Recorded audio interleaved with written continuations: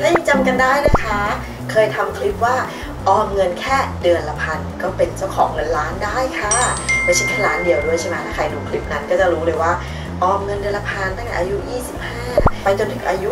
60 ถ้าลงทุนในกองทุนหุ้นซึ่งให้ผลตอบแทนเฉลี่ยย้อนหลัง 10 ปีอ่า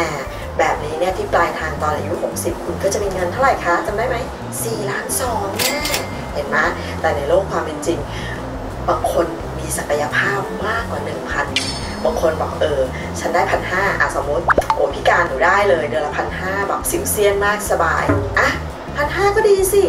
พันห้าเริ่มจากอายุ 25 ลงทุนในกองทุนหุ้นไปเรื่อย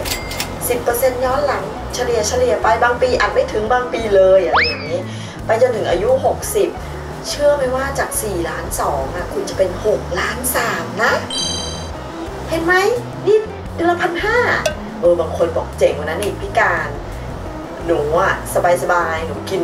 หนูใช้น้อย หนูเป็นคนเก็บเงินเก่งเออแทนที่หนูจะฝากเงิน แทนที่หนูจะ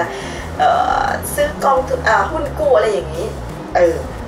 หนูออมได้เดือนละห้าพันเนี่ยแหมแบบนี้ก็แจ๋วเลยค่ะ อายุ 25 ออมเงินเดือนละพันห้าพัน ซื้อกองทุนหุ้นไปเรื่อยๆ10%ย้อนหลังเฉลี่ยเฉลี่ยเฉลี่ยไปเรื่อยๆ พออายุ 60 ปี พระเจ้ามันไม่ใช่แค่4ล้าน2ไม่ใช่แค่6ล้าน3นะจ๊ะ ที่รัก มันจะเป็น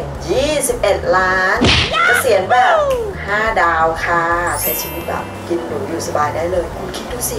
แค่ออมเงินเดือนละ5,000นะ คุณจะมีเงินตอนแบบ 60อะตอนเกษียณมีเงิน 21 ล้านอะ เกษียณแบบคูลๆอะแบบนี้เขาเรียกเกษียณแบบคูลๆบางคนบอกเจอพี่แล้วบอกพี่การ sorry ฉันมารู้แบบ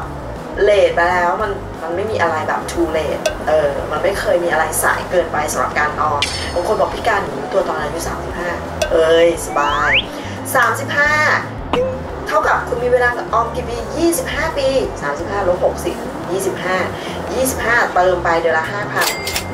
5,000 5,000 ก็เกษียณก็ไม่ขี้เลเพราะว่า 35ไปถึง 60นะคะก็มีเงินตั้ง7ล้านกว่าบาทเห็นไหมก็